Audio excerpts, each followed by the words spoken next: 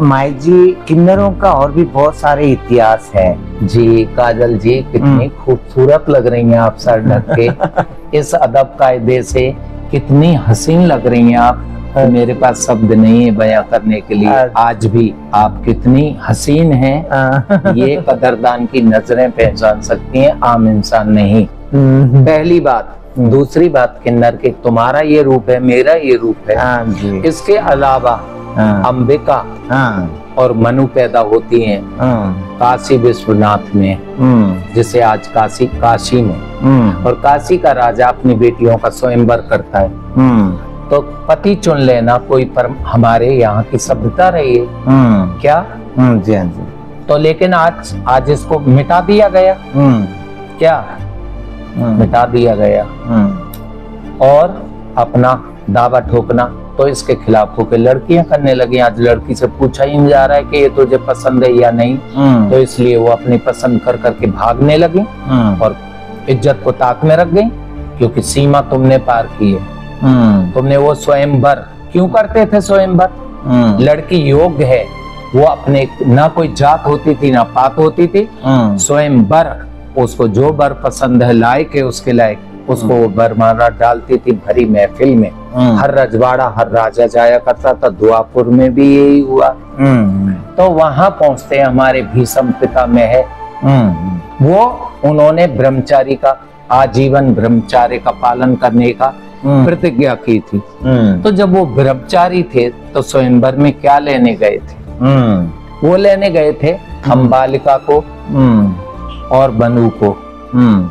मैं जीत के स्वयंवर में लाऊँगा हम्म, और पांडवों को ब्याहूँगा हम्म, उन्होंने स्वयंवर जीत लिया विजय हो गए बरमाला डाल दी। हम्म, तो बरमाला पति को डाली जाती है उन्होंने अपने मन में चुन लिया ये हमारा पति है। हाँ, और वो आ गई भीषम पिता मह के साथ। हाँ, और आ गई तो भीषम पिता मह से जिद करने लगी। कि हम्म। आप हमें स्वयंवर में से जीत के लाए। आप कहा कि हमने अपने दिल से आपको पति ग्रहण किया। हम्म, हम दूसरा पति ग्रहण कैसे करें? ये तो महापाप है। हम्म, क्योंकि हमारी हिंदुस्तानी नारी हुआ करती थी। है नहीं। आज भी होंगी कहीं। तभी ये ज़मीन टिकी हुई है। है भारत नारी तो आज हाँ। भी कहीं है। कहीं बहुत हाँ लेकिन उन्होंने ये कहा और वो बहुत दिनों तक यही खींचतान चलती रही वो राजमहलों में रही मेहमान खाने में रही लौंडियाँ बांधी हर सुविधा उनको दी गई। हम्म, छोटी तो फिसल गई। हम्म, उनने शादी कर ली। जो अम्बाल का थी हम्म, उसने शादी नहीं की। हम्म, उन्होंने कहा सुन जब तू ब्रह्मचारी आप थे तो हम्म। आपको मुझे स्वयंवर में भर के लाने की क्या ज़रूरत थी? हम्म, मैं चाहे कुछ हो जाए दूसरा बर अपनी ज़िंदगी में सर नहीं कर सकती। आप मुझसे शादी करें तो उन्होंने कहा मैंने प्रतिज्ञा ली है। तो तुम्हारी प्रतिज्ञा प्रतिज्ञा है क्योंकि तुम पुरुष हो। हम्म। और मेरी प्रतिज्ञा प्रतिज्ञा नहीं है क्योंकि मैं नारी हूँ। हम्म, तो मैं ये जुल्म बर्दाश्त नहीं कर सकती। हम्म, और मैं अपनी आखिरी सांस तक आपसे लड़ूँगी। वो लड़ी आखिरी सांस तक। और लड़के उन्होंने अपना देहांत किया। देहांत करके देहांत करके उनको एक नागिन का हम्म। जन्म मिला नागलोक में। हम्म, और वो आई और इनको इनसे बदला लेने के लिए वो इनको डसने के लिए आई। इनके पैर में डसना चाहती थी उनको अनुभव हो गया उन्होंने पैर झटका तो सामने कांटों की बार थी। कटीले कांटों की बार थी सुरक्षा के लिए। कहीं ये विश्राम कर रहे थे जंगल में। वो नागिन हम्म। वो अंबालिका हम्म। नागिन के रूप में उस कांटे की बार पे जाके गिरी पूरे शरीर में से कांटे पार हो गए और उसने तड़प तड़प के जान दी हम्म, और उसके बाद असली रूप में आई और कहा भीषम पिता मैं मैं तुझे सराफ देती हूँ कि जैसे मेरी मृत्यु हुई है कांटों की सैया पर तड़प तड़प के उसी तरह एक दिन तेरी मृत्यु का कारण मैं बन और शरीर त्याग दिया। हम्म, अब तीसरा जन्म हुआ। हम्म। एक अम्बालिका दूसरा नागिन तीसरा शिखंडी के रूप में। जन्म लिया। तो उसके एक ही संतान थी।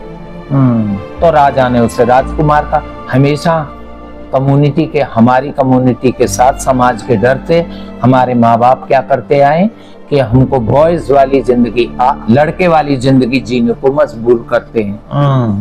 और लड़के के नाम से ही प्रचार करते हैं। स्कूलों में लड़कों के नाम फलाना नाम हमारी हकीकत को दबा दिया जाता है। हम्म, ये ये जब भी हुआ राजघराने में भी उसे राजकुमारों की पोशाक और शिक्षा और प्रशिक्षण और बाण विद्या घोड़सवारी सब सिखाएँगे।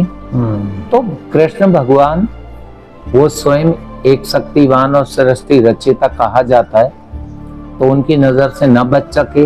हम्म, तो उन्होंने कहा कि एक ही चीज़ है अर्जुन युद्ध फतेह करने के लिए हम्म, भीषम पिता नेह की मृत्यु। तो वो तो वो तो इच्छा मृत्यु के मालिक हैं। हम्म, अर्जुन ने कहा कि परदा परदादा गुरु हमारे तो वो तो इच्छा मृत्यु के वरदान प्राप्त कर चुके हैं। तो उन्होंने कहा ठीक है लेकिन एक उपाय है। चलो फलाने राज्य में हम्म, शिखंडी है। शिखंडी नाम से जानने वाली चीज़ है। वो किन्नरी थे। किन्नरी थी उनको लेके आ गए। हम्म, उनकी फौज को लेके आ गए। और उनको सारथी बना दिया किन्नर को रथ पे। अगर किन्नर पे बाण भीषम पिता में चलाते हैं तो उनका अस्त तत्व खत्म। उनका सब त्याग और तपस्या खत्म। किन्नर पे हाथ वो उठाएगा जो नपुसंक होगा। हम्म, औरत पे हाथ वो ही उठाएगा जो मर्द न होगा। हम्म, मर्द कभी जो मर्द होगा वो कभी किन्नर का सामना करने का दम नहीं रखता जिसे मर्द का ज्ञान हो कि मर्द की परंपराएँ क्या है। तो सारी परंपराएँ मिट गई तो मर्द को कहाँ याद रहा आज? हम्म, आज तो जो किन्नर करेगा वो भी करने को तैयार है। क्योंकि याद ही नहीं है। हम्म, कहते हैं हम हिंदू हैं कहते हैं हम मुसलमान हैं। न मुसलमान को अपना इतिहास याद है न हिंदू को न ईसाई को हम्म, न किसी कम्युनिटी को। जय श्री राम क्या है राम? राम ने क्या सिखाया? क्या कर रही है कम्युनिटी आज? हाँ। कृष्ण ने क्या संदेश दिया? तुम्हारे पास क्या है? गीता है। उसमें से क्या है। क्या कर रहे हो आज आप? आज आप क्या कर रहे हो? हम्म। वो राज्य छोड़ के रण छोड़ बन के यहाँ से द्वारका चले गए। उसके बाद भी ब्रज उन्हीं का रहा। हम्म, तो ये सिखाया कृष्ण ने क्या तुम निभा रहे हो इन चीज़ों को? आज की अवाम आज की प्रजा बड़ा अफसोस है। मेरे सामने कहते हैं हम हिंदू हैं। आग लग जाती पूछने लग जाती हूँ हिंदू है? बता पैदा होने से लेके मृत्यु तक कितने संस्कार होते हैं? मुसलमान कोई बात करता है उसके लायक भी ईश्वर ने मुझे अकल दी है उससे भी अटक जाती हूँ मैं। ये बातें मुझे खलती हैं क्योंकि तुम नाम के हो सिर्फ़ दंगाई हो उपद्री हो नफरत फैलाने वाले हो भारत महान क्यों था? ये सब नहीं था। लड़ते थे मरते थे लेकिन था भारत एक। हम्म, तो ये सब चीज़ें हम्म, जब ज़रूरत पड़ी तो किन्नर को ही द्वापुर में सारथी बनाया गया अर्जुन का। हम्म, अर्जुन तीर चलाता था सारथी के पीछे से। हम्म, और वो बाण भेजते थे किसको? भीषम पिता मेह को। हम्म, तो एंड में उन्होंने कहा था कि ए अर्जुन ये अर्जुन ये तेरे बाण नहीं है। जो तन भेदत है मेरे। अर्जुन ये तेरे बाण नहीं है। जो तन भेदत है मेरे तेरे बाणों में शक्ति नहीं है जो मेरे तन को भेज सके।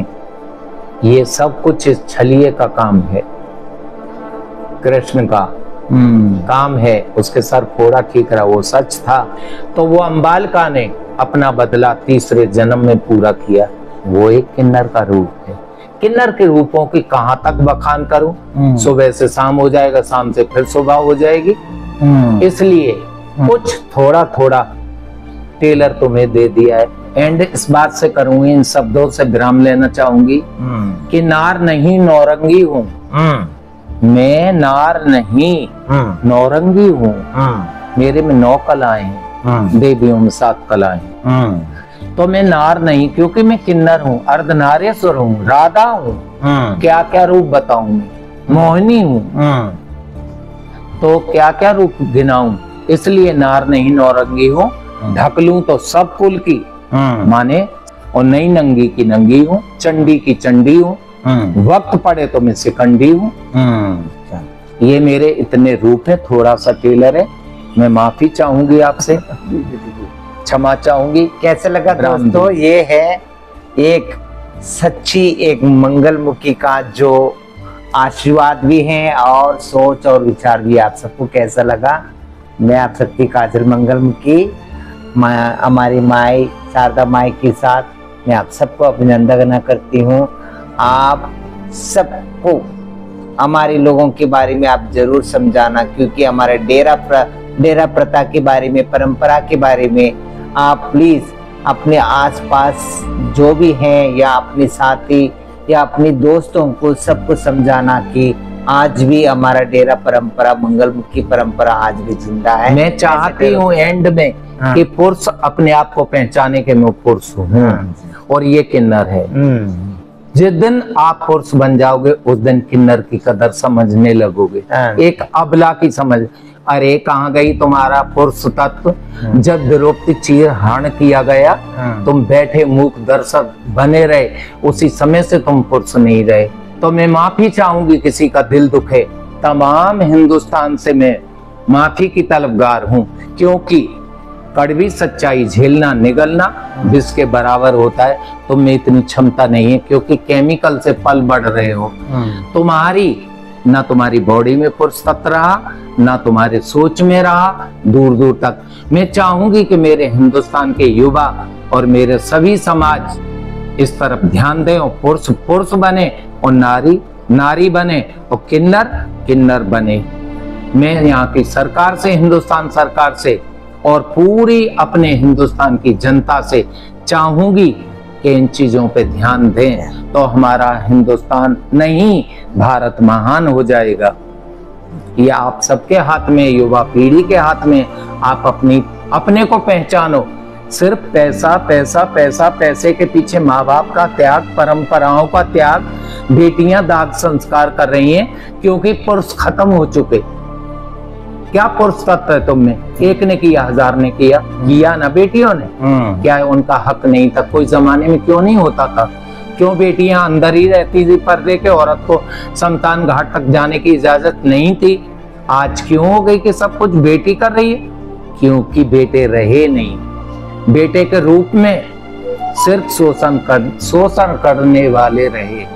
तो जब माँ बाप का शोषण ये समाज कर रही है तो किन्नर का शोषण क्यों नहीं करेंगे? बहुत बहुत शुक्रिया इनकी अकल का इनके पैसे का इनकी झूठी शान का। इससे बाहर निकले और पुरुष पुरुष बने मेरे हिंदुस्तान का नारी नारी बने और किन्नर किन्नर बने। ये सब भारतीयों को एक अच्छे महा संदेश दिए हमारा माई ने। कैसा लगा दोस्तों? मैं आप सबकी काजल मंगलमुखी नमस्कार।